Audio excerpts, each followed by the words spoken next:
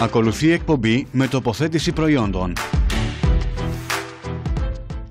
Την εκπομπή στηρίζουν τα προϊόντα αντιλιακής προστασίας Fresiderm και η εταιρεία Μη Σίγμα Ιακωβίδης.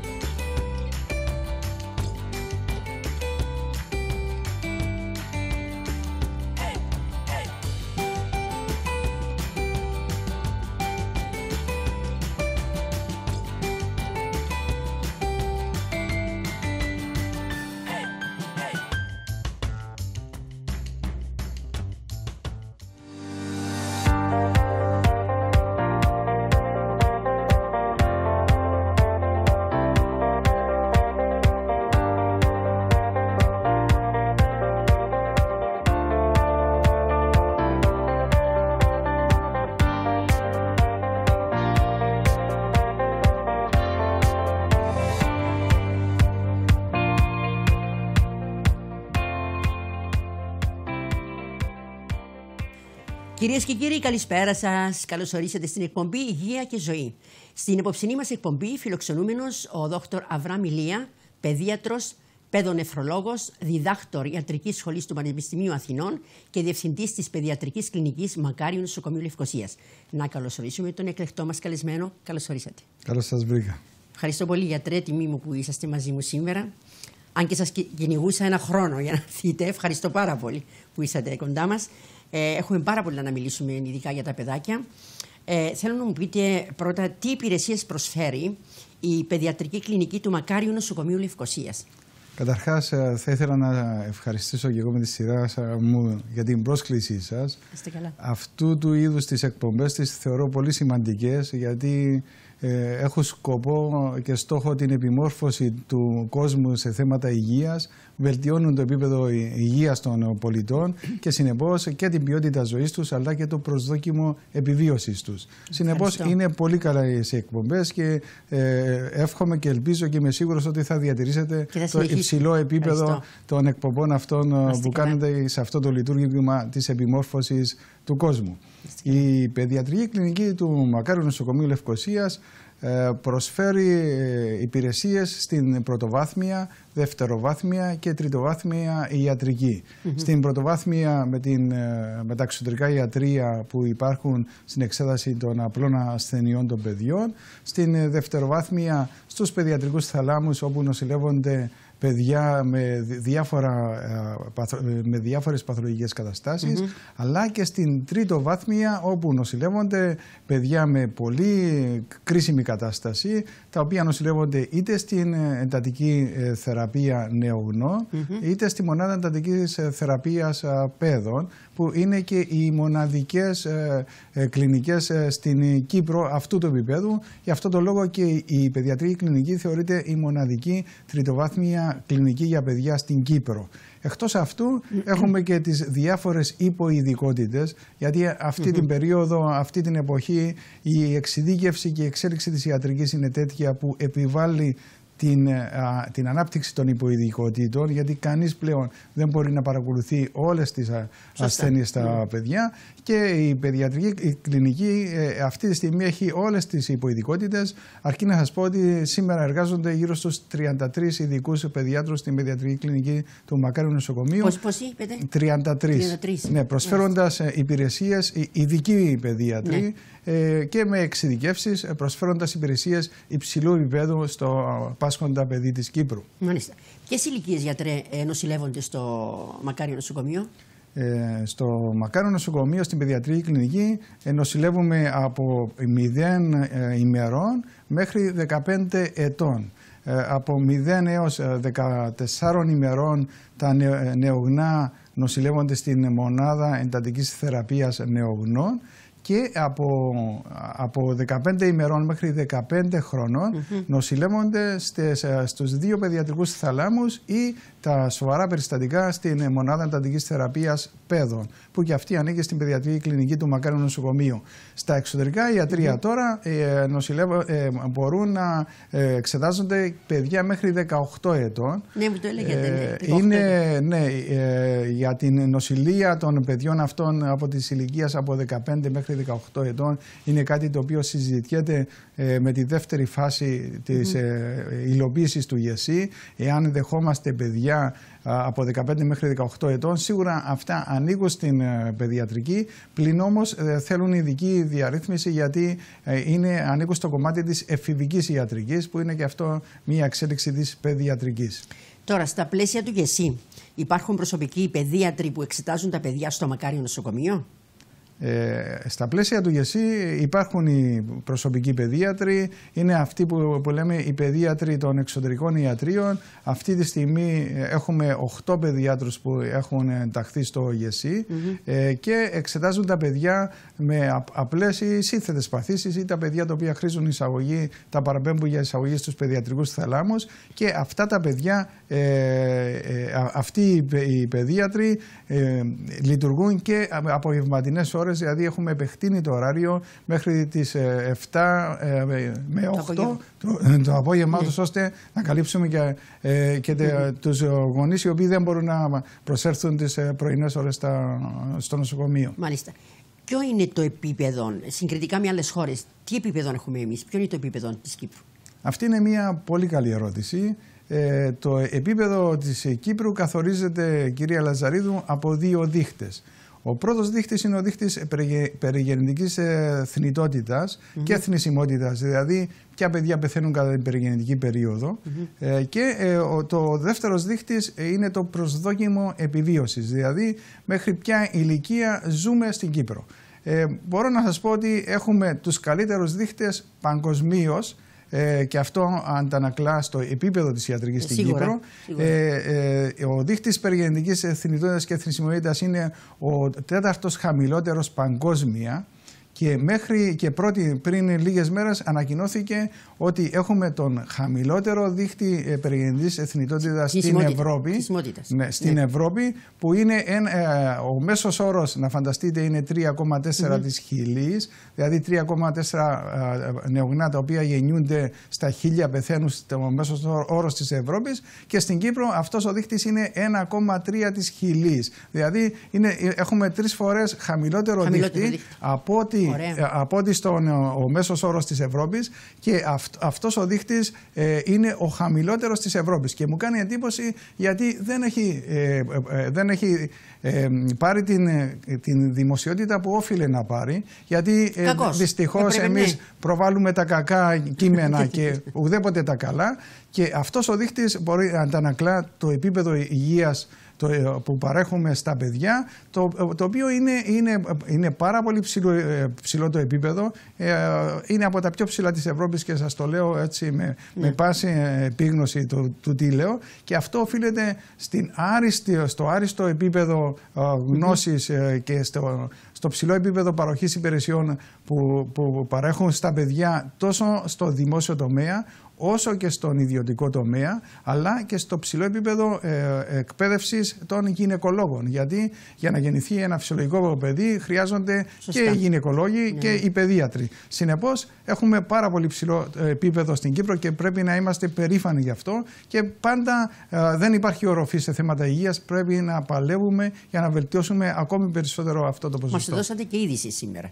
Γιατί δεν τα βλέπουμε αυτά σε περιοδικά ή ότι σε έντυπα. Έτσι δεν είναι; Ναι, δυστυχώς. Ε, ναι. Δυστυχώς δεν πουλάει το καλό. Ε, πουλάει στον τύπο μόνο το, το κακό. κακό. Και, αλλά πρέπει ναι. να, να αποδίδονται να τα, αυτά, βεβαίως, τα, ε, βεβαίως. τα εύσημα σε αυτούς που, που αγωνίζονται για αυτό, για αυτό το σκοπό.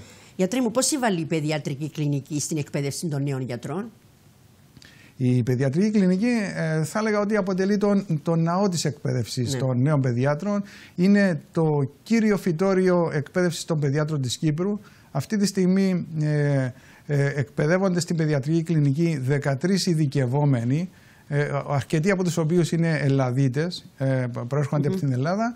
Ε, έχουμε τέσσερις εξειδικευόμενους στην νεογνωλογία για να αποκτήσουν πλήρη εξειδίκευση στην νεογνωλογία και ε, από μόνος η παιδιατρική κλινική αποτελεί το κύριο φυτέωριο των παιδιάτρων της Κύπρου, πολλοί από τους οποίους σήμερα ε, λειτουργούν στον ιδιωτικό ή δημόσιο τομέα ή και ακόμη ε, έχουν πολύ καλές αποδόσεις στο εξωτερικό, εργαζόμενοι στο εξωτερικό. Εκτός από την εκπαίδευση των παιδιάτρων, η παιδιατρική κλινική ε, έχει ένα μεγάλο ρόλο στην εκπαίδευση των φοιτητών της ιατρικής, γιατί είναι το κέντρο εκπαίδευσης των φοιτητών στο μάθημα της παιδιατρικής και από τις τρεις ιατρικές σχολές του τόπου. Από την Ιατρική Σχολή του Πανεπιστημίου Κύπρου, ναι. του, την Ιατρική Σχολή του Πανεπιστημίου Λευκοσίας και την Ιατρική Σχολή του Ευρωπαϊκού Πανεπιστημίου. Ναι. Συνεπώς, όλοι αυτοί οι φοιτητές έρχονται και μπαίνουν ψηλού επίπεδου εκπαίδευσης ε, στην παιδιατρική. Θα διδάξετε, νομίζω, τώρα θα διδάξετε σύντομα και στο Ευρωπαϊκό, έτσι δεν είναι; Ναι, όλοι και ναι. Οι συνάδελφοι μου ναι. και εγώ ε, έχουμε ε, ενεργό συμμετοχή στη διδασκαλία του μαθήματος στην παιδιατρική και στις τρεις ιατρικές σχολές που σας έχω αναφέρει. Πολύ καλά. Συγγνώμη. Ποια είναι τα σοβαρότερα προβλήματα που αντιμετωπίζετε στην παιδιατρική κλινική του Μακάριου Νοσοκομείου Έτρε; Σοβαρά προβλήματα. Ναι, ε, ε, το, ένα από τα σοβαρά προβλήματα είναι το, το πρόβλημα της, του χώρου. Η, χώρου. ναι, ο χώρος, είναι, εστιάζω, είναι μικρός ο χώρος γιατί γιατί το Μακάριο Νοσοκομείο είχε σχεδιαστεί ε, ε, για την ε, μητέρα και το παιδί για να αντιμετωπίσει τις ανάγκες ενός πληθυσμού γύρω στις 100-200 χιλιάδες που ήταν και ο πληθυσμός της επαρχίας Λευκοσίας τότε. Ναι, ναι. Τώρα είναι το κέντρο αναφοράς από όλη την Κύπρο και ο πληθυσμός της Κύπρου έχει πολλαπλασιαστεί. Συνεπώς δεν υπάρχουν οι χώροι ε, για, να, για να λειτουργήσουν ορισμένα ναι, τμήματα. Ναι, ναι. Έχουμε τμήματα όπως είναι το κλινική παιδό νευρολογίας που λειτουργεί σε λιόμενο έξω από το, έξω από το κτίριο και γίνονται διαρκείς ε, προσθήκες για να λυθεί αυτό το σημαντικό πρόβλημα το οποίο, ε, το οποίο όμως δεν, δεν μπορεί να αντιμετωπιστεί ε, εξ ολοκλήρου γιατί το μακάριο πλέον δεν αντέχει σε άλλους ρυθμούς. Επομένως χρειάζεται να πάρθει μια απόφαση επέκτασης, γενναία απόφαση επέκτασης στον χώρο του νοσοκομείου. Το άλλο πρόβλημα είναι οι, οι, οι υποειδικότητες γιατί εμείς θέλουμε να εξελίξουμε όλες τις υποειδικότητες της παιδιατρικής. Ε, είναι δύσκολο να βρεις γιατρούς για να παντρώσουν αυτές τις ε, υποειδικότητες. Πολλοί, πολλοί, γιατροί, ναι. πολλοί γιατροί πάνε στον, ε, στον ιδιωτικό τομέα ναι. γιατί εκεί οι αμοιβές είναι ενδεχομένως καλύτερες. Αλλά και οι γιατροί που μένουν, οι οποίοι είναι πάρα πολλοί, είναι αυτοί που έχουν το, τη θέληση, έχουν το σαράκι της προσφοράς να προσφέρουν στο παιδί ε, και τα, τη χρηματική αποζημίωση τη βάζουν σε δεύτερη μοίρα. Και αυτό, αυτό είναι ναι. πολύ σημαντικό. Γι' αυτό το λόγο, επειδή έχουμε πάρα πολύ ικανούς συναδέλφους στην παιδιατρική κλινική, οι οποίοι έχουν εντάξει ε, τη ζωή τους ε, ε, στην προσφορά ε, για την υγεία των παιδιών. Γι' αυτό το λόγο έχουμε και τα ψηλά αυτά ποσοστά ε, θνητότητας που σας έχω, σας έχω πει, γιατί λειτουργούμε σαν μία, μία ομάδα, ναι. μία οικογένεια. Λειτουργήμα που Όταν υπάρχει ένα περιστατικό, όλοι, όλοι πολύ έτσι, με προθυμία θα προσέλθουν για να αντιμετωπίσουν αυτό το περιστατικό και μπορεί να, να πάρουμε συμβουλές από όλους τους παιδιάτρους οποιοδήποτε ώρα του 24ωρο, χωρίς κανείς από τους συναδέλφους να, να διστάσει να, να δώσει, να δώσει ο, την, ε, τη βοήθεια είναι, του. Είναι και όρκος Ιπποκράτης, έτσι δεν είναι; Ναι, σίγουρα. σίγουρα. Αυτό... Και ειδικά όταν έχεις να κάνεις με παιδιά, παιδιά πρέπει ναι, να είσαι φυσικά. πιο ευαισθητοποιημένος. Φυσικά. Ποιες είναι οι συχνότερες ασθένειες των παιδιών που προβάλλουν τα παιδιά; Τα παιδιά, που προσβάλλουν τα παιδιά. Οι συχνότερες ασθένειες ε, που το προσβάλλουν είναι οι λοιμώξεις. Οι πιο συχνές είναι οι λοιμώξεις του αναπνευστικού, ε, μετά είναι οι λοιμώξεις του καστεντερικού, ακολουθούν οι λοιμώξεις του ουροπητικού. Συνεπώς, ε, ο πυρετός ε, ή οι γαστεντερικέ διαταραχές είναι από τα πιο συχνά που μπορεί να, να, προσέ, να προσέλθει ένα παιδί στο παιδίατρο. Μάλιστα. Άρα λοιπόν αυτές είναι οι πιο συχνές λοιμώξεις, οι οποίες στην πλειοψηφία τους είναι και απλές ε, λοιμώξεις και πολύ δύσκολα θα χρειαστεί να νοσηλεύσεις αυτά τα παιδιά στην, ε, στο θαλάμο στο Μακάριο. Λόγω εποχής, τώρα το καλοκαίρι είναι περισσότερα τα παιδιά που έρχονται ή το χειμώνα, δηλαδή όταν όλες αυτές οι λοιμώξεις. Ναι. Φαντάζομαι αναπνευστικά θα είναι το χειμώνα, έτσι ναι. δεν είναι; Ναι, Σαφώς. Τώρα η, η δουλειά μειώνεται περίπου κατά το μισό ε, λόγω του ότι δεν έχουμε τις λοιμώξεις του αναπνευστικού. Ναι. Τα σχολεία είναι κλειστά και αυτός είναι ένας ένας μεγάλος ευνοϊκός παράγοντας που προδιαθέτει την μετάδοση των Δεν μεταδίδεται το ένα με το άλλο. Σωστά. Ναι, δεν, άρα, άρα, τα σχολεία είναι ναι. κλειστά, δεν έχουμε τις λοιμώξεις του αναπνευστικού. Συνεπώς είναι οι λοιμώξεις του γαστεντερικού κυρίως που, ναι. που, που, που τη ζέστη και από διάφορε τροφέ ναι, και τέτοια έτσι. Βεβαίως, ναι. ναι. Ε, πότε πρέπει να δίνουμε αντιβίωση σε έναν παιδί με πυρετό; Ναι, αυτή είναι μια πολύ καλή ερώτηση. Ε, πρέπει να γνωρίζουν οι γονείς ότι τα αντιβιωτικά δεν είναι αντιπυρετικά. Δεν πρέπει να, να, να, χορηγούμε, ναι. ναι. να χορηγούμε αντιβιωτικά. Τα αντιβιωτικά είναι μια πολύ καλή, έτσι, ένα πολύ καλό όπλο στην αντιμετώπιση όμως των μικροβιακών λοιμόξεων.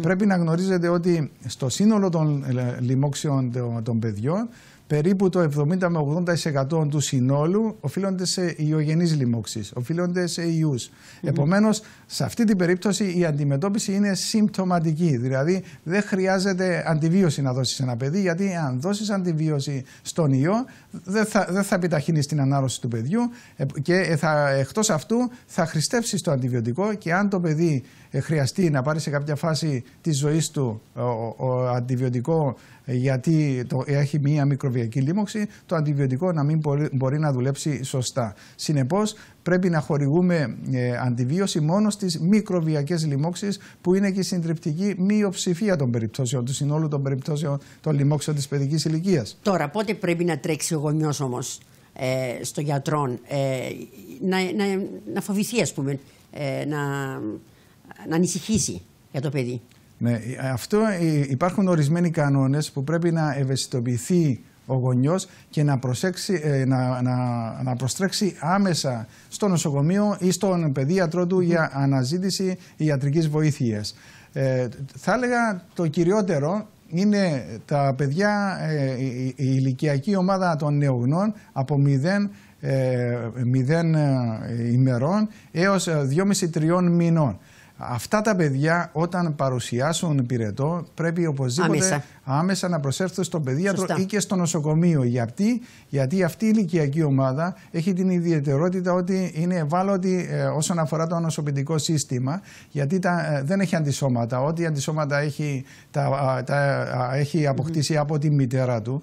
Ε, Συνεπώς, τα παιδιά αυτά αναπτύσσουν αντισώματα μετά την ηλικία των 2,5-3 μηνών. Επομένως, είναι πιο ευάλωτα στο να κάνουν συψεμία. Μία, μία απλή λίμωξη δεν μπορεί να περιοριστεί, γενικεύεται. Μπορεί να κάνουν συψεμία και να χάσουν και τη ζωή τους. Επομένως, στην ηλικιακή ομάδα από 0 ημερών έως 3 ε, μηνών με πυρετό, αυτά τα παιδιά πρέπει να νοσηλεύονται στο νοσοκομείο. Να γίνεται όλος ο έλεγχος. Συνήθως γίνονται παρακετήσει, ε, παίρνονται καλλιέργειες από παντού ναι. οι εξετάσεις και αρχίζουν αντιβίωση μέχρι να, να βγουν τα αποτελέσματα και τροποποιούμε τη θεραπεία ανάλογα με τα αποτελέσματα. Διαφορετικά, εάν περιμένεις το, το αποτέλεσμα των αναλύσεων, το παιδί δυνατόν των νεογνών να χάσει τη ζωή του. Συνεπώς, είναι πολύ σημαντικό. το, το, το, άλλο που πρέπει να, να, να προσέξουν οι γονείς είναι ε, το, το επίπεδο ενός παιδιού. Δηλαδή, εάν ένα παιδί ε, το οποίο είτε έχει πυρετό είτε έχει γαστρεντερικές διαταραχές ή οτιδήποτε mm-hmm. άλλη συμπτωματολογία.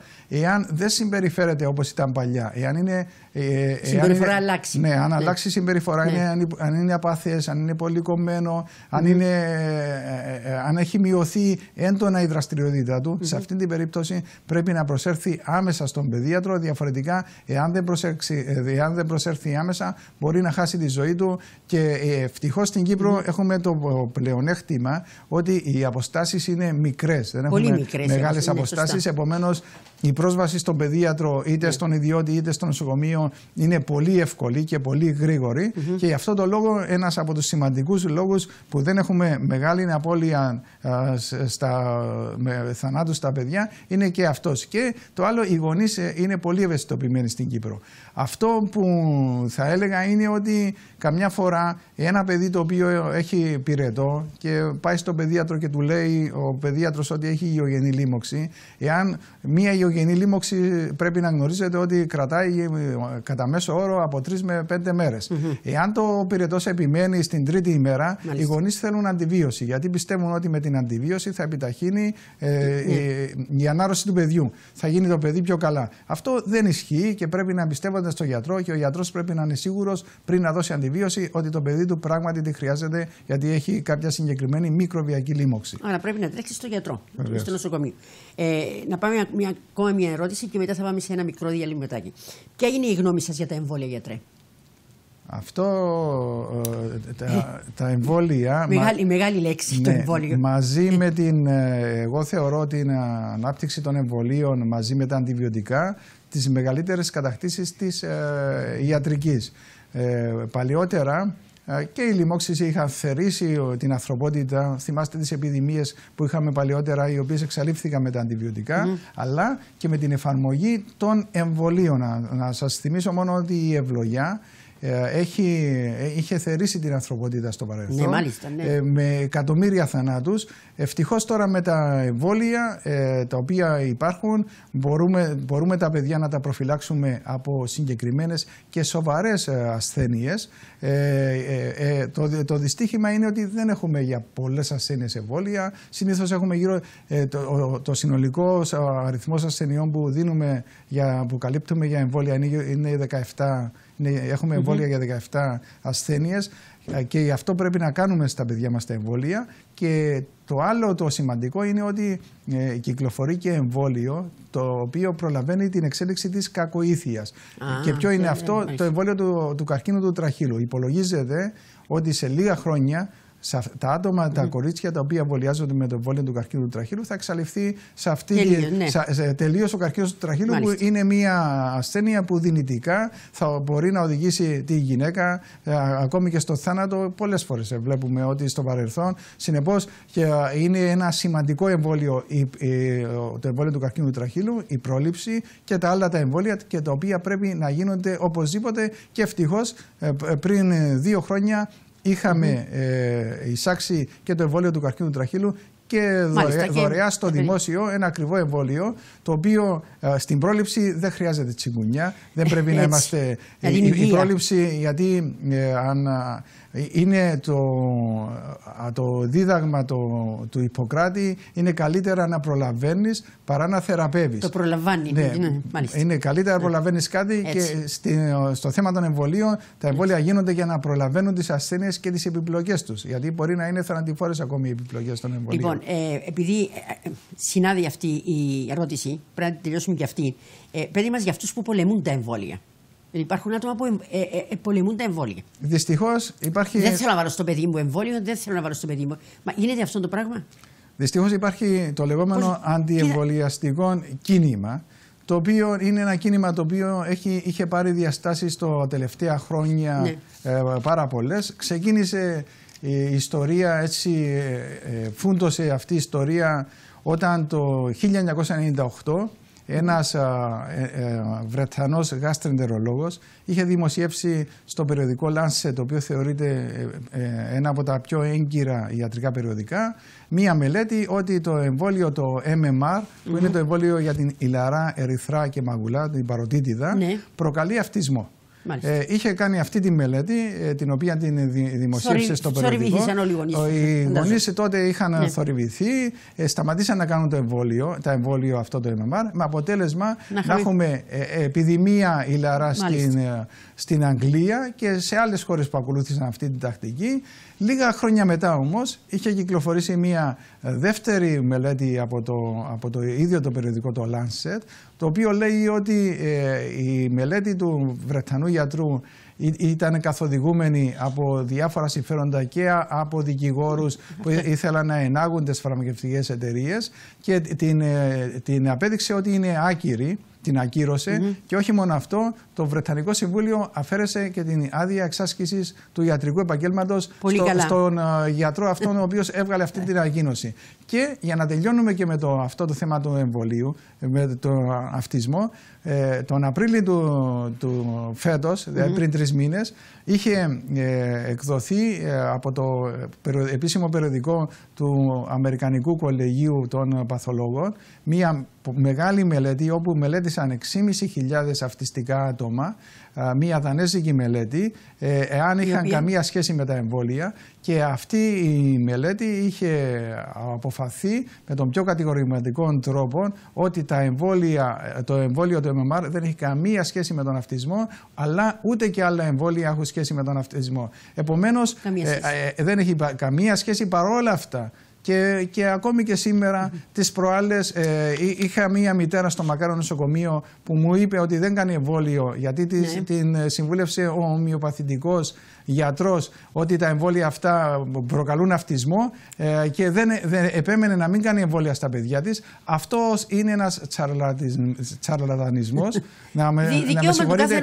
Ναι, αλλά, αλλά αυτό δεν είναι σωστό. Δεν είναι κρίμα για τα παιδιά. Ναι, είναι ναι, πολύ κρίμα. Άλλο εγώ να μην έχω λεφτά γιατί είμαι σε μια, ναι, μια αναπτυσσόμενη χώρα και δεν έχω λεφτά και άλλο να μην κάνω συνειδητά εμβόλια στα παιδιά μου γιατί λέω ότι τα εμβόλια αυτά δεν, ε, αφού εμβολιαστήκαν τα άλλα παιδιά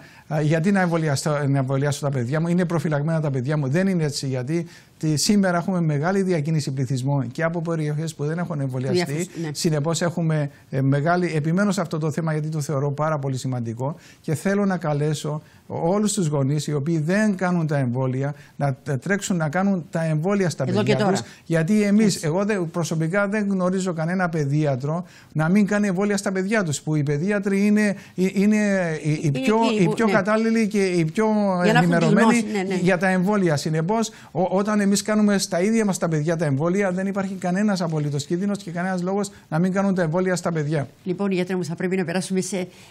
Θέλουμε 10 εκπομπές, όχι μία. 10. Λοιπόν, σε λίγο θα είμαστε μαζί. Κυρίες και κύριοι, σε λίγο θα είμαστε μαζί. Πάμε.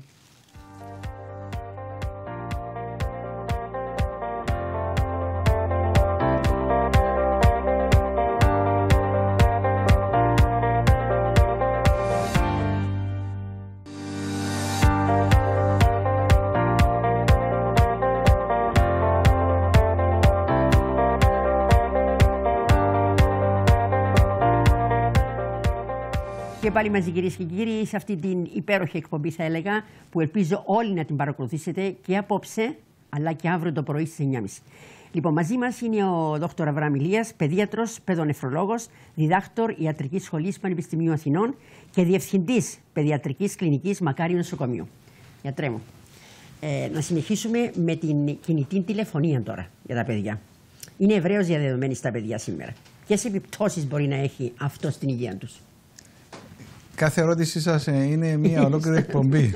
θα προσπαθήσω. Μα τι να κάνω, κι εγώ; Να, Έγραφα όλο το βράδυ. Τι να κάνω; Θα προσπαθήσω να είμαι σύντομος. να σας πω, η κινητή τηλεφωνία είναι ένα μεγάλο πρόβλημα. Ναι. Ε, το 2011 ο Παγκόσμιος Οργανισμός Υγείας είχε αναφέρει ε, ότι η μη ιονίζουσα ηλεκτρομαγνητική ακτινοβολία, την οποία εκπέμπουν τα κινητά, ε, μπορεί να είναι καρκινογόνος. Άφησε αυτό το μεγάλο ερωτηματικό Στη συνέχεια ακολουθήσαν πάρα πολλές μελέτες γιατί τα παιδιά τώρα ε, ε, βομβαρδίζονται, βρίσκονται σε ένα ε, ηλεκτρονικό νέφος τα παιδιά που δέχονται από παντού διάφορες συχνότητες. Έχει ε, πολλές μελέτες έχουν αναφέρει ότι μπορεί να έχει ηλεκτρομαγνητική αυτή ακτινοβολία επίπτωση στον ανώριμο εγκέφαλο του, του παιδιού και ιδιαίτερα του νεογνού και του βρέφους. Γι' αυτό τον λόγο οι, οι έγκυες γυναίκες πρέπει να αποφεύγουν την κινητή τηλεφωνία αλλά και την έκθεση από τα διάφορα Wi-Fi, τα router, ε, ε, ε, τα Bluetooth, αυτά όλα έχουν επίδραση στον ανώριμο εγκέφαλο του παιδιού. Που είναι ευρέως στα παιδιά. Είναι ευρέως, ε, αλλά ε, αυτό είναι ένα πολύ μεγάλο κεφάλαιο. Γιατρέ μου, τους δίνουν, και... οι γονείς τους δίνουν το τηλέφωνο, να το παίρνουν στα σχολεία τους και να τηλεφωνούν. Μα τα μωρά δεν, είναι, δεν, δεν, δεν τηλεφωνάνε μόνο στη μάμα και στον πατέρα.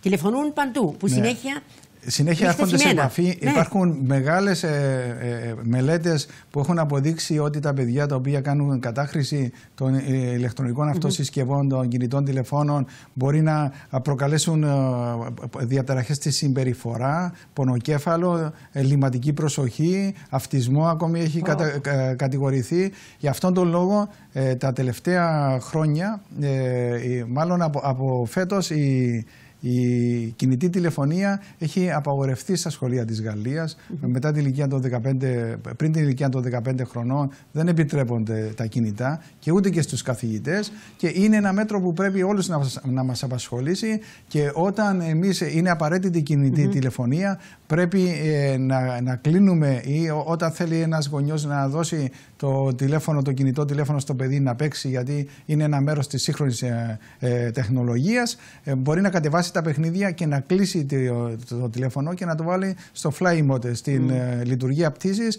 που δεν δέχεται εκεί ακτινοβολία το παιδί. Το βράδυ και μια άλλη πολύ καλή συμβουλή είναι το, το βράδυ πρέπει να κλείνει το router ειδικά όταν το παιδί μένει σε ένα, σε ένα μικρό σπίτι δωμάτιο, και στο δωμάτιο, του, ναι, ναι, στο ναι. δωμάτιο του για να μην δέχεται το παιδί αυτού του είδους την ακτινοβολία η οποία είναι δυνητική μπορεί να κάνει μεγάλη ζημιά στο. Και όχι μόνο στα παιδιά, και στου μεγάλους. Το, το ίδιο πράγμα είναι πραγματικά. Ε, έχω δει άτομα που κρατάνε συνέχεια το τηλέφωνο που είναι βλαβερό. Ναι, μπορεί να του προκαλέσει πονοκέφαλο, βουλτό και άλλες επιπτώσεις καρκινογόνες τις οποίες. Και διαρωτούνται γιατί πονούν την κεφαλή τους. Και όχι μόνο αυτό, και η, τα, η πολύ γρήγορη τώρα το, το 5G, το οποίο αναμένουμε, αυτό έχει ενοχοποιηθεί ακόμη περισσότερο ότι είναι βλαβερό και ε, αυτό είναι κάτι το οποίο πρέπει να μας προβληματίσει πώς πρέπει ναι, να. Ναι, ναι. Γιατρέ μου, ποια είναι τα συχνότερα νοσήματα που προσβάλλουν τα παιδιά τώρα το καλοκαίρι, που προσβάλλονται. Τώρα το καλοκαίρι ε, τα συχνότερα νοσήματα είναι οι γαστεντερικές διαταραχές όπως είχαμε πει προηγουμένως, ναι, ναι. είναι οι διάρειες, οι έμετοι, ε, που και εκεί χρειάζεται προσοχή γιατί ένα παιδί με γαστεντερικές διαταραχές μπορεί με τις ψηλές θερμοκρασίες, σε συνδυασμό με τις ψηλές θερμοκρασίες να αφιδατωθεί να είναι κομμένο. Επομένως, όταν, ε, όταν οι γονείς παρατηρήσουν ένα παιδί που έχει ε, εμέτου ήδη διαρροικές κενώσεις και ε, δεν είναι δραστήριο, είναι αφιδατωμένο, είναι στεγνή η πλενογόνη του, είναι ζαρωμένο το δέρμα, τα μάτια εισέχουν, δεν, δεν έχει ούρα το παιδί. το παιδί όταν κλαίει, δεν παράγει δάκρυα. Σε αυτή την περίπτωση πρέπει να ανατρέξουν στον παιδίατρο ή ακόμη στο νοσοκομείο, γιατί μπορεί να χρειαστεί ενδοφλέβια χορήγηση υγρών mm-hmm. και έχουμε δει παιδιά να χάνουν τη ζωή τους από σοβαρή αφιδάτωση, σπάνια στην Κύπρο, αλλά το έχουμε δει και στην Κύπρο. Επομένως, το καλοκαίρι οι γαστρεντερικέ διαταραχές είναι οι πιο συχνές, ε, το, το, πιο συχνό πρόβλημα του καλοκαιριού. Επίσης, έχουμε τις λοιμώξεις του ουροποιητικού. Οι ουρολοιμώξεις, λόγω του ότι τα παιδιά πηγαίνουν θάλασσα και πισίνα, εκεί μπορεί να πιάσουν μικρόβιο και να προκαλέσουν κυστίτιδα συνήθως. Και ε, έχουμε και τις ε, σταφυλοκοκίε λοιμώξεις του δέρματος, ναι, ναι. που οι ψηλέ θερμοκρασίες και το, το χώμα ευνοεί την ανάπτυξη των, ε, τους σταφυλόκους στα παιδιά.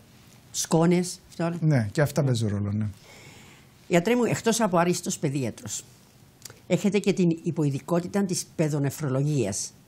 Ποια είναι η προσφορά σας, Γιατί όπως όπως ξέρω, είσαστε ο μόνος νεφρολόγος, παιδονεφρολόγος στην Κύπρο. Ε, η παιδονεφρολογική δεν, κλινική. Δεν, δεν, λειτουργά στο Μακάριο Νοσοκομείο τα τελευταία 20 χρόνια. Έγινε, ήταν ένα μεγάλο κενό που υπήρχε στο Μακάριο. Αυτά τα παιδιά με νεφρολογικές παθήσεις ε, και έχουμε παιδιά. έχουμε, πάρα ναι, πολλά παιδιά. Τα παραβέμπαμε στο εξωτερικό με ένα ναι. τεράστιο οικονομικό κόστος και εκτός αυτού δεν είχαν και τη συνεχή παρακολούθηση που έπρεπε να έχουν. Συνεπώς, ε, τότε αυτή την, ε, αυτό το έλλειμμα το είχε αντιληφθεί ε, ο, ο τότε διευθυντής της νεφρολογικής κλινικής ε, στο Γενικό Νοσοκομείο, ο Δ. Άλκης Πιερίδης, τον οποίο θεωρώ τον πατέρα της νεφρολογίας, ήταν αυτός που έχει εισάξει την νεφρολογία στην Κύπρο και μαζί με τον τότε διευθυντή ε, της παιδιατρικής κλινικής του Μακάριου Νοσοκομείου, τον Μιχάλη τον Αγκαστινιώτη, ο οποίος ήταν και αυτός υπέρμαχος στην ανάπτυξη των υποειδικοτήτων της mm παιδιατρικής, γιατί αυτή είναι η εξέλιξη της ιατρικής. Είναι οι υποειδικότητες και είναι αυτές που κάνουν το Μακάριο να ξεχωρίζει. Ε, είχαν, είχαν εξασφαλίσει μια διετή υποτροφία για παιδονεφρολογία στο εξωτερικό. Ε, την έχω την έχω παρακολουθήσει ε, και στη συνέχεια ήρθα. Κάνετε ειδικότητα Ναι, έχω πάρει την ναι, ειδικότητα. Ήρθα, μοναδικός. ήρθα με όλε. Δυστυχώς είμαι μοναδικός και αυτό δεν είναι καλό γιατί είναι εις βάρος της προσωπικής μου ζωής. Αλλά παρόλα αυτά ε, τα βγάζουμε πέρα. Μπορεί να σας πω τα τελευταία 20 χρόνια κανένα παιδί δεν έχασε τη ζωή του από νεφρολογικό πρόβλημα και ελάχιστα παιδιά τα οποία είναι 2 ή 3 στο, αυτά 20, ε, στο αυτό μεγάλο, το μεγάλο αυτό χρονικό διάστημα τα παραβέψαμε στο εξωτερικό για δεύτερη γνώμης στην ουσία. Ποια είναι τα συμπτώματα ε, της, ε, των νεφρών για τα παιδιά; Είναι η αίμα στα ούρα, είναι τι είναι; Ναι, ε, συμπτώματα. Τα, να, να κοιτάξει, ας πούμε, ο γονιός, να το προσέξει ο γονιός. Ένας γονιός μπορεί να παρατηρήσει ναι. ότι το μωρό του έχει αιματουρία, ναι, είναι το αιματουρία, αίμα στα ούρα ναι. που λέτε. Εάν είναι φουσκωμένο ένα παιδί, Μπορεί να κάνει ήδη στα βλέφαρα ένα παιδί το οποίο έχει λευκοματουρία, mm-hmm. αποβάλει πρωτεΐνες στα ούρα που είναι μία, μία, μία ένδειξη ε, νευροπάθειας, mm-hmm. τότε μπορεί να φουσκώνει στην αρχή στα βλέφαρα και αν δεν το πάρει είδηση το είδημα επεκτείνεται στα ευαίδωτα σημεία του σώματος όπως είναι η περιοχή, περιγεννητική περιοχή, όπως είναι τα κάτω άκρα και στη συνέχεια καθολικό είδημα. Επίσης να μην βάζει βάρος στο παιδί, να, είναι, να έχει κοντό ανάστημα ή ένα παιδί να έχει υπέρταση. Γι' αυτό να, ε, ε, η υπέρταση, οι νευροπάθειες είναι Άρα η κύρια είναι αιτία. Ναι, είναι δεικτικό. Δεικτικό. Οι νευροπάθειες είναι η κύρια αιτία Της η- υπέρτασης των της παιδιών. υπέρτασης στα παιδιά. Ναι. Είναι το πιο συχνό σύμπτωμα. Συνεπώς, ε, σε αυτές τις περιπτώσεις πρέπει να, να, να, να ανατρέξει, να ελέξει την υγεία του ουροπητικού συστήματος στο παιδί και με απλές εξετάσεις μπορούμε να δούμε εάν ένα παιδί ε, έχει κάποιο πρόβλημα από τα νεφρά ή όχι. Μάλιστα. Τώρα, πολλές φορές ο κόσμος αναρωτιέται αν υπάρχουν παιδιά με νεφροπάθεια τα οποία υποβάλλονται σε κάθαρση. Όπως οι μεγάλοι, ας πούμε. Ε, εάν υπάρχουν, πού οφείλονται οι νεφροπάθειες αυτές τα παιδιά; Ε, βάσει στατιστικών ε, αναμένεται να, γεννιούνται, να γεννιέται ένα παιδί με κατεστραμμένα νεφρά, με τελικό στάδιο νεφρικής Ναι. ανεπάρκειας, κάθε ένα με δύο χρόνια. Και έχουμε τέτοια παιδιά, Έχουμε. γεννιούνται ένα, κάθε ένα με δύο χρόνια. Παλαιότερα αυτά τα παιδιά δεν έχουν καμία πιθανότητα επιβίωσης. Τώρα ε, μπορούμε να τα, να τα υποστηρίξουμε. Καμιά φορά ε, οι γυναικολόγοι, γιατί η εφαρμογή των υπερήχων ε, γίνεται ευρεία πλέον στην έγκυο γυναίκα, μπορεί να διαγνώσουν έγκαιρα ε, ότι ένα παιδί έχει υποπλαστικά νεφρά. Γιατί η κυριότερη αιτία είναι οι συγγενείς ανομαλίες στο ουροπητικό που θα καταστρέψουν στα νεφρά. Σε τέτοιες περιπτώσεις θα παραπέψει την έγκυο σε εμάς για να δώσουμε μια συμβουλή. Εξηγούμε στην έγκυο τι θα κάνει ένα παιδί, εάν, ε, εάν ένα παιδί το οποίο θα γεννηθεί με τελικό στάδιο νεφρικής ανεπάρκειας πρέπει να υποβληθεί σε κάθαρση από τη γέννηση. Ναι, το βλέπετε στην κοιλιά δηλαδή. Ναι, μπορούμε να Α, δούμε μπορείτε ο- να το ο- ότι, δείτε. ότι τα νεφρά δεν Ότι τα νεφρά δεν- αναπτύσσονται, Αχα. είναι υποπλαστικά Ναι. και αφού εξηγήσουμε στην έγκυο γυναίκα και στον πατέρα, στον με- μέλλοντα πατέρα τι, τι αναμένεται να γίνει, αυτά τα παιδιά πρέπει να υποβληθούν σε περιτοναγική κάθαρση ε, μέχρι την ηλικία των 2-3 χρονών που είναι έτοιμα να μεταμοσχευτούν και πρέπει να, να, δο- να βρεθεί δότης για τη μεταμόσχευση. Ε, ε, επομένως πρέπει να περάσουν ένα γολγοθά έως ότου μεταμοσχευτεί το παιδί και μία μεταμόσχευση πρέπει να γνωρίζετε ότι δεν πάει πάπυρο. Μία, ένας μεταμοσχευμένος νε- νεφρός έχει ένα μέσο ό- όρο ε, ηλι- επιβίωσης γύρω στα 20-25 χρόνια, κάπου εκεί και ίσως λίγο περισσότερα με το καινούργια ανοσοκαταστατικά φάρμακα. Και είναι δική τους απόφαση αν θα Έτσι. συνεχίσουν ή όχι. Είναι και- Και ναι. έχουμε τέτοια περιστατικά που ορισμένοι γονείς, ιδιαίτερα νεαροί γονείς που δεν είχαν κανένα πρόβλημα τεκνοποίησης, αποφασίσαν να σταματήσουν την εγγύηση για να μην υποβάλουν το Έχουμε παιδί σε μετά. αυτή την Ναι. ταλαιπωρία. Λοιπόν, επειδή λίγος χρόνος μας έμεινε δυστυχώς, θέλω να πείτε στην προ- πολύχρονη καριέρα σας, γιατρέ, αν σας έχει στιγματίσει, στιγματίσουν πολλά γεγονότα. Έτσι, ή σοβαρά γεγονότα. Ποια είναι τα σοβαρά γεγονότα που ε, έχουν στιγματίσει την καριέρα σας; Ε, σίγουρα σε αυτά τα 30 χρόνια που ασκώ την παιδιατρική ε, μα- με έχω στιγματίσει πάρα πολλά γεγονότα. Μπορείτε να μοιραστείτε μαζί μας. Γιατί, γιατί όταν έχεις να κάνεις με, όταν χάνεται ένα παιδί ε, είναι ό,τι χειρότερο Ό,τι μπορεί χειρότερο. να συμβεί ε, και δυστυχώς ε, Μπορεί να συμβεί και αυτό, Ναι, βέβαια. μπορεί να συμβεί. Ευτυχώς όμως δεν συμβαίνει και τόσο συχνά στην Ναι. Κύπρο γιατί ε, όπως έχουμε πει έχουμε ένα ψηλό επίπεδο. Ε, τα γεγονότα είναι πολλά και η ηθική μας ικανοποίηση εμάς είναι να, να καταφέρουμε να ζήσει ένα παιδί, να περάσει τη δύσκολη στιγμή, να ζήσει και τότε α- αυτό το αίσθημα δεν πληρώνεται με κανένα χρηματικό ποσό.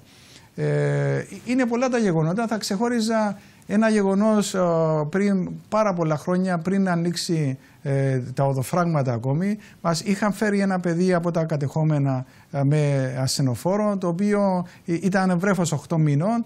Ε, έλεγαν οι Τούρκοι εκεί, οι Τουρκοκύπροι συνάδελφοι, ότι το παιδί έχει καρδιακή ανεπάρκεια. Ήρθε στο Μακάριο νοσοκομείο σε άσχημη κατάσταση διασωληνωμένο. Αυτό το παιδί ε, διαγνώστηκε άμεσα ότι έπασχε από μία σοβαρή ασθένεια που λέγεται αιμονητικό ρεμικό σύνδρομο. Είχε νεφρική ανεπάρκεια. Έπρεπε να υποβληθεί σε κάθαρση γιατί τα εργαστηριακά του ήταν ασύμβατα με τη ζωή, θα πέθαινε. Το, η αναισθησιολόγος δεν έδινε ε, την, ε, δεν, δεν προχωρούσε σε αναισθησία στο παιδί, γιατί έπρεπε να έρθουν οι γονείς για συγκατάθεση. Οι γονείς δεν είχαν έρθει ακόμη. Ε, ε, και ε, πήρα εγώ το, το, ρίσκο. το ρίσκο να υπογράψω γιατί το παιδί θα έχανε τη ζωή του στις, στις επόμενες μία-δύο ώρες. υπόγραψα την ευθύνη, το παιδί μπήκε, διασωληνώθηκε, μπήκε περιτοναϊκός καθετήρας, άρχισε κάθαρση και νοσηλεύτηκε στη μονάδα ανταδικής θεραπείας παιδών. Και μετά από 18-20 μέρες, ενώ ήταν πλήρως ανουρικό, άρχισε να επανέρχεται η νεφρική λειτουργία του και ο πατέρας, το άλλο το χαρακτηριστικό, ο πατέρας ήταν, ήταν Τούρκος στρατιωτικός που δεν είχε δικαίωμα να έρθει να δει το παιδί του εδώ. Μετά από πολλές παρεμβάσεις εξασφάλισε άδεια. Και όταν έφυγε με το παιδί καλά, παρόλο που εμείς ξέρουμε ότι κάναμε καλά ένα παιδί που δυνητικά θα μπορούσε μελλοντικά να στρέψει τα όπλα εναντίον, εναντίον ναι, ναι, ναι. μας. Αλλά αυτό, αυτό είναι το καθήκον μας σαν γιατρούς. Αυτός είναι ο όρκος μας. Ε, ο πατέρας ε, μου είχε πει, με ρώτησε από πού είσαι γιατρέ και ξέρω εγώ. Εγώ έχω καταγωγή από την Αγία Μαρία Σκυλούρα σε ένα ναι. κατεχόμενο χωριό, το ναι, οποίο ναι. είναι στρατοκρατούμενη περιοχή. Του είπα, είμαι από αυτή την περιοχή. Μου λέει, θα έρθω μια μέρα να σε πάρω στο σπίτι, στο σπίτι σου να το δεις. Ναι. ναι, στο κατεχόμενα και μετά θα, σε, θα πάμε στην Κερίνια να φάμε ψάρι και ε, θα σε φέρω πίσω. Θα έρθεις στο Λίδρα Φάλας να σε πάρω. Παρόλο και του λέω, στο χωριό μου δεν πάει κανείς γιατί είναι στρατοκρατούμενη περιοχή. Μου λέει, ε, ε, ξέρεις ποιος είμαι εγώ. Αυτός ήταν ψηλά, ε, ήταν βαθμούχος στρατιωτικός. Παρ' όλα αυτά δεν πήγα γιατί δεν ήθελα να πάω σαν τουρίστας να δω το σπίτι μου. Μάλιστα. Ε, έτσι και προς το τέλος, πώς βλέπετε, την, ε, πώς βλέπετε το μέλλον της παιδιατρικής κλινικής του Μακάρι Νοσοκομείου, έτσι εντάχει γιατρέ μου, γιατί τελειώνουμε. Η παιδιατρική κλινική, σαν η μοναδική τριτοβάθμια κλινική για τα παιδιά στην Κύπρο, ε, δεν έχει άλλη επιλογή από το να βελτιώνεται διαρκώς, να αναβαθμίζεται και να, να, να πιάνει τους, στόχους, ε, τους ε, στόχους το ακατόρθωτο θα έλεγα, που το ακατόρθωτο είναι ότι πρέπει ο, κανένα παιδί να μην χάνει ε, τη ζωή του από οποιοδήποτε νόσημα. Όταν το πετύχουμε αυτό θα είμαστε όλοι ευχαριστημένοι. Άρα λοιπόν το, το μέλλον της παιδιατρικής κλινικής στο Μακάριο το βλέπω πάρα πολύ ευίωνο και ε, εδώ θέλω να πω ότι και η κυβέρνηση ε, συμπράττει κάθε μας προσπάθεια, κάθε λογικό μας αίτημα, το άμεσα το κάνει αποδεκτό και το εφαρμόζει, γιατί έχει, έχουμε να κάνουμε με το μέλλον, με το μέλλον αυτής της χώρας, που το μέλλον είναι τα παιδιά. Υγεία και, όταν έχουμε υγιή παιδιά, θα έχουμε και μια υγιή χώρα αύριο. Γιατρέ μου, σας ευχαριστώ. Ήταν τιμή μου πραγματικά που είσαστε μαζί μου. Σας ευχαριστώ πάρα πολύ και πάλι που είσαστε μαζί μου. Ελπίζω να σας έχουμε και το χειμώνα. Έτσι. Πάντα είμαι πρόθυμος, δεν μπορώ να σας αρνηθώ, γιατί ξέρω ότι κάνετε κι εσείς ένα λειτουργήμα που η ενημέρωση το, του κόσμου είναι πολύ σημαντική για να ξέρει να αντιμετωπίσει Ευχαριστώ, γιατρέ μου. όλα αυτά τα προβλήματα. Να είστε καλά. Να είστε καλά. Καλό καλοκαίρι σε εσάς.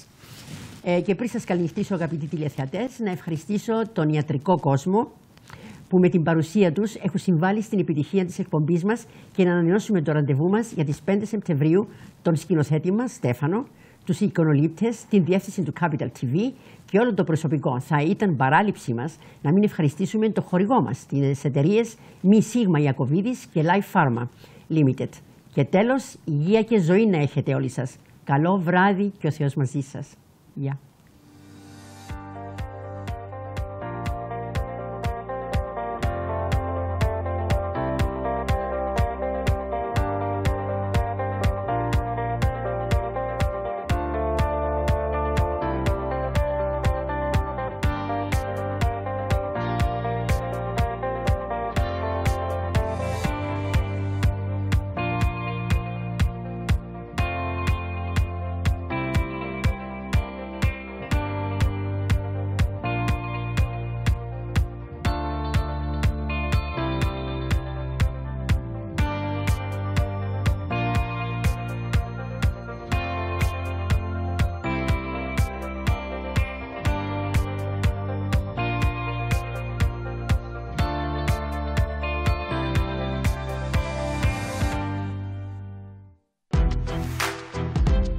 Η εκπομπή περιείχε τοποθέτηση προϊόντος.